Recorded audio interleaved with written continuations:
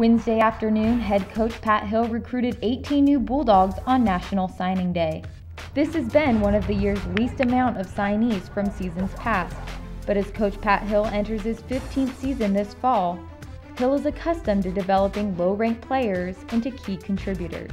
Naturally, Hill looked into local players taking six area players altogether, led by Clovis West defensive end Donavon Lewis and Visalia running back Dillion Brew.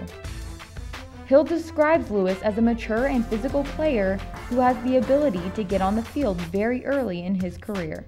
As far as offense, Hill sees potential in Brew as he describes him as a powerful runner who has a chance to being another long line of big time running backs at Fresno State. I think the San Joaquin Valley now is uh, a very highly, highly recruited area. And I think that's a great tribute to the, the coaching that goes on here in the Valley. We've, we, have we have got gr great football here.